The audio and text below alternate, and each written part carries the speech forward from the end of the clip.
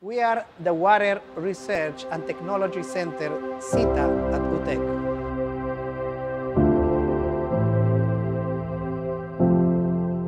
We are a platform for research, training, and educational outreach to ensure an efficient and sustainable use of water.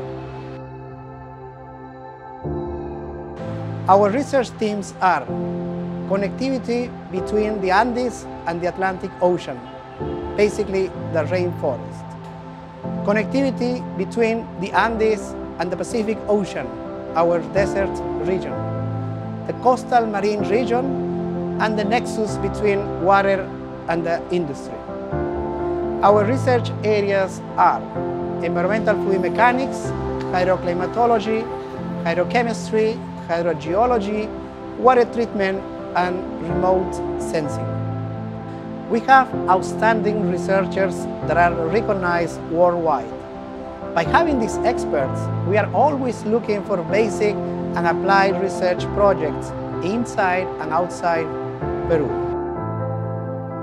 Based on the expertise of our researchers, we can study several projects. For instance, oil spills in rivers and in the ocean, illegal mining, flooding, huaicos or debris and mud flows, coastal pollution and its effects on fish production, hydrokinetic energy, and the sustainability of the Amazon rainforest. Due to our main focus on water, we are always looking for academic and research collaborators.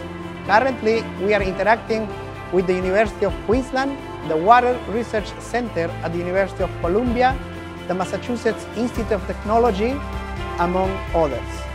We are also interested on having partners from the private sector that are water-intensive users or agencies that might be interested on funding our research ideas. Our final goal in CITA is to do research in order to understand the balance between nature and humanity and how we can make an efficient use of the natural resources so we can make sure that we have a sustainable world.